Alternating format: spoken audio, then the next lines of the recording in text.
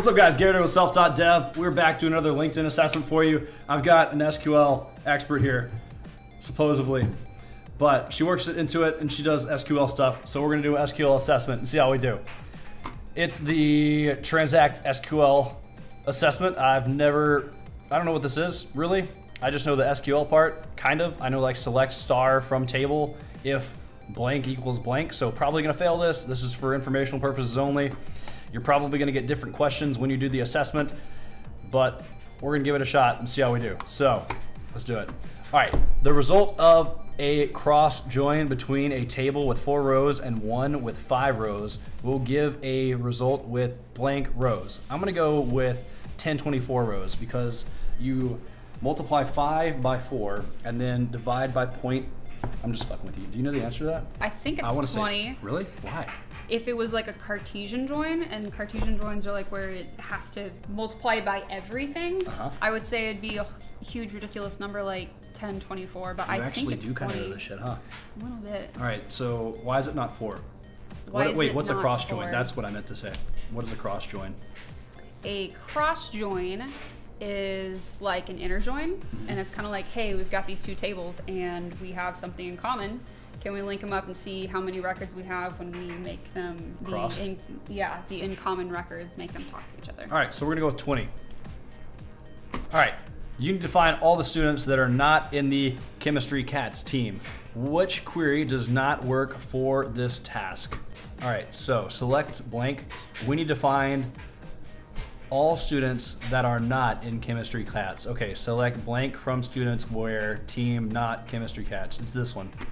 A lot of them are. So it's not equals to, so there are a lot of ways to do not equals to. Uh-huh. Not equals to can be the word not. It can be the um, the two The two These two arrows. B. yep and So you're it- saying there's multiple right answers, and this is a trick question, and LinkedIn fucked up.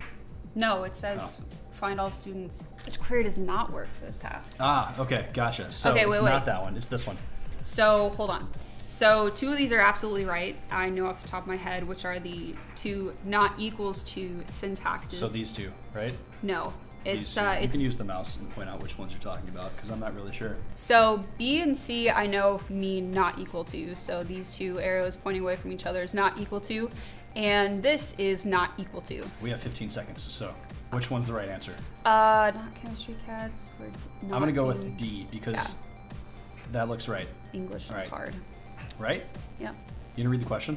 How many bytes of storage does the int data type consume? I think it consumes eight. I have no idea. I but like- we're gonna go with eight because eight's binary. Yes. You need to modify an existing students table to add a field for middle name. Which command accomplishes this task? Okay, so if you are going to, uh, if you basically have DBA rights and you have the rights to actually modify the tables, you get to use some more fancy words than like I would.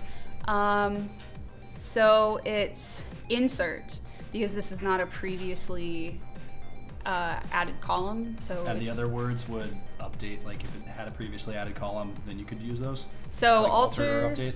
so alter table. Um, I've actually never seen alter table. Uh, update students to add. Oh no, I'm wrong because this column does not currently exist. That C is not an option. Update table students and middle name. I think it's update because it's existing, so you're updating one. Insert would create a new table or row or whatever. Did create a new thing, and we just want to update the existing one. But because it's not an existing column, the word insert has to be in there, which is why I automatically went here. Okay, so basically, alter table students insert, altered table students insert, add middle. It's either It's A or one. D because it's using altered table, and that's like a test taking thing. So which one of those do you think it is? A. All right, cool. We got four seconds, so we're gonna go with A. Boom. All right. A new employee has been hired. Given the information shown below, which SQL statement inserts the new employee into the employee table? I'm Okay. gonna consult my SQL book while you talk about this. Okay, so new employee has been hired. Basically, the employee number is uh, going to be the primary key.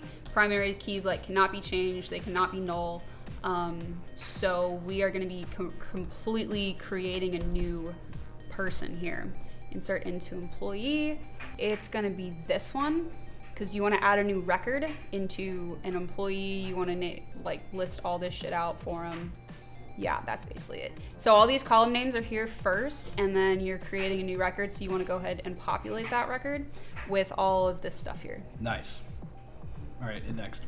Review the query below. What is the best response? Select first name, last name, points from students where points equals greater than seven. Yep, you have to request every column name that you actually want, first name, last name, and everywhere that the record has above seven. So it's, So it's either C or D, right? C Yeah. or D. So it's D. Because the other one has seven in it, Yeah. and it's not greater than or equal to. Yeah, because it's first name, last name, and this is email. Okay, it's D. You're so smart. You would like to have a record added to a table B every time a record is modified in table A, what technique should you look into implementing? Okay, so you want to do a trigger, which again, if you're a database administrator, you have all the power in the world to create and modify tables at your, your discretion. So you get to use fancy words like trigger. And so trigger is like when something happens, something else has to happen, and you basically tell SQL this is how it goes. Um, you should create a trigger on table A. No, you should create a, a trigger on table A because the modifications are happening to table A, and so basically, as soon as it happens, it says, "Hey, you gotta go talk to table B now." So, the rule. Nice. You need to remove all data from a table named orders. Which query completes the task in the least amount of time? Okay, so there are two things you have to know about deleting records. One is you can drop the entire table like it never existed, and two, you can clear it all out. So the table itself technically still exists, but it has no data. So it's gonna be, you need to remove all data. So it's not truncate, it's gonna be delete from orders, select star, delete from orders. What does truncate do? Uh, truncate means it shortens it up. So, for example, um, when you have dates, uh, sometimes a date will be like midnight, zero minutes, zero seconds. And if you just want it to come back like March 31st, you're like truncate that shit and you take the time out of it. You take the midnight out of it. Delete uh, star from orders, delete table. I actually think we are going to go with truncate table orders. Truncate table orders. Delete star from orders. I've never seen delete star from orders. Wouldn't that delete everything? Well, it would delete all the records, so maybe that. So star is like all the records. Star means all records. Delete from orders. And we're trying to remove all the data, so we're gonna go with that. Yeah, I'm gonna go with that. What does a right join ensure? Okay, so a right join, which is different from like A left un- join. which is different from a left join and different from an inner join, is like you have one table and you want you know that you want to keep all the records from that first table, mm-hmm. and then you have a second table and you're like, okay, anything that is in the second table that is also in the first table, I would like to see. So you get all of one and then some of the others which connect. All right, what does a that the records from the rightmost table will be displayed only nope. Only if the that no records, no. That all records from the rightmost table are represented in the result, even if there are no yeah, even if there are no corresponding records in the left table. So It's the longest answer. Boom. What I would have gone with if I didn't have you here. So, the keywords and in like in between all be- belong to a category called what? They belong to those are not things. They're not logical operators. So logical operators are like not equals to and count and sum and distinct. Joining operators are not those either. Criteria, I think they're linking. criteria. Yeah, they'll be criteria. Um, so Easy question. Boom. Which statement deletes a table named inventory from the products database? Okay, so we're completely dropping the table. Use products drop table. All right, drop tables in each of these. Okay, so products is the database name. So whenever you have a database name and you have a table name, it's gonna be the database or the schema dot the table. Um, so it's specifying which table in which schema. So we are gonna say drop table products inventory here. So database table drop table inventory. So you want to drop the whole thing like it never existed. All right, deal. Which is the right query to change the name of the Philosophy Pandas team to the Philosophy Parrots? Okay, so here you're gonna be switching out basically a bunch of information. So you're gonna say update. Update student student set team equals where Oh, okay. So it's it's not ever double quotes. It's always single quotation marks. And because the philosophy Parrots and the philosophy pandas are just names, mm-hmm. um, they are like strings. So you have to do everything in strings. Given these two tables, which query generates a listing showing student names and the department office location where you could reach them? Okay, so you want to return very specific columns.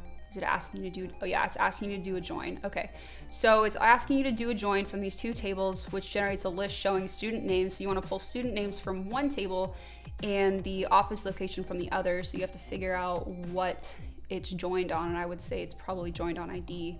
Select student's first name and last name and department office from students join departments.